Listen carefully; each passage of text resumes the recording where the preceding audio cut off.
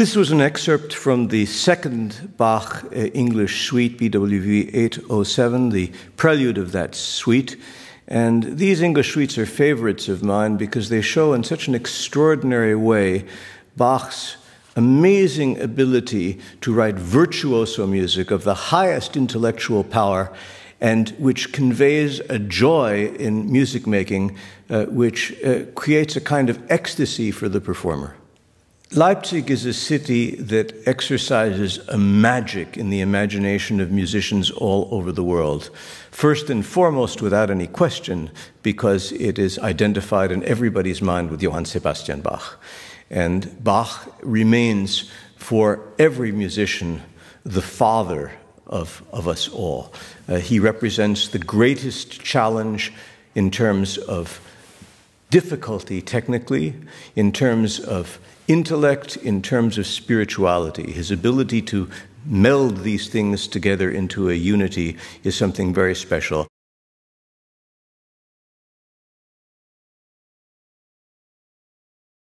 And for someone to come from as far away as I do, from the United States of America, other people come from Asia, and they come to the Thomas Thomaskirchhof and they see the statue uh, of Bach, or they go a few steps farther and see uh, the little monument that Mendelssohn uh, caused to be created, and they go into the Thomaskirche and imagine what it was like to hear a Sunday service there, to see Bach's grave, to go to the Nikolaikirche. All of these things are like a pilgrimage. They are an almost religious experience.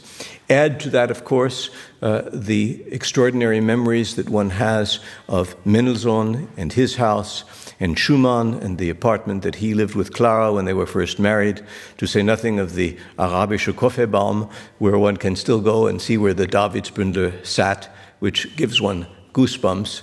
And one can even, of course, order Spanferkel, which was Schumann's uh, favorite dish, suckling pig with Savoy cabbage and, uh, uh, you know, potato dumplings. Uh, this is a, a, city which, of course, through the ages was a commercial center.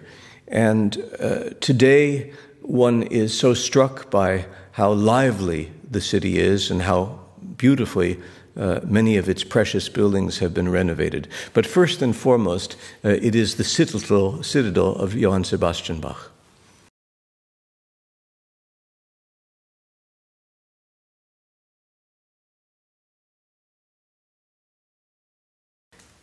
Of course, every young musician is confronted with Bach at an early age.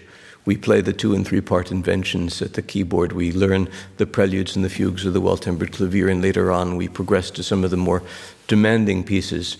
But for me, there was a moment, a decisive moment, which turned me into someone absolutely obsessed with the music of Johann Sebastian Bach. And that moment came in February 1958 when there was a television broadcast by Leonard Bernstein, who was giving a series of presentations on television in America on different musical subjects.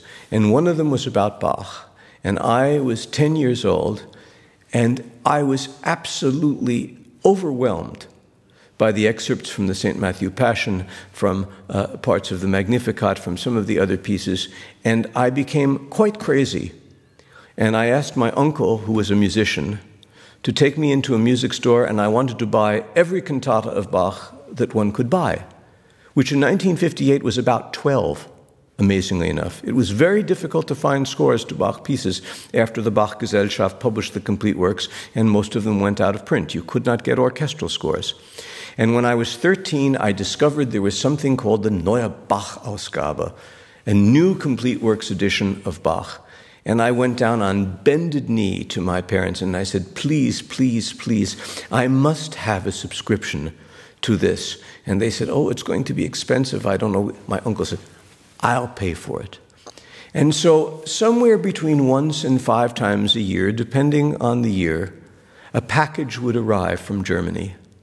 And I'd open up the package, and there were the brown cloth volumes with Bach's coat of arms on the front. And to me, that was like Christmas.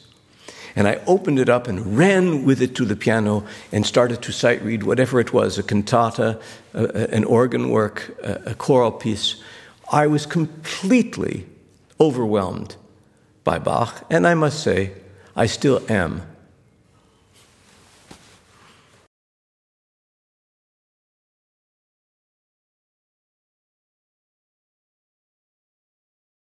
I was first in Leipzig in 1996, and at that time I was chosen by Amadeus Webersinke, who, of course, was uh, the prize winner in organ at the very first Bach competition in 1950.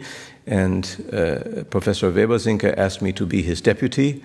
And at the very next Bach piano competition, I was named chair of the jury, and he was my deputy. And then after that, they asked me to be the president. And so I have been president of the Bach competition now since 2001, which gives me the joy of coming to the city on a regular basis uh, to work on the competition, sometimes to do some research, and of course, the network of friends that I have in the Bach archive, uh, working colleagues. Uh, these are some of the most precious relationships that I have.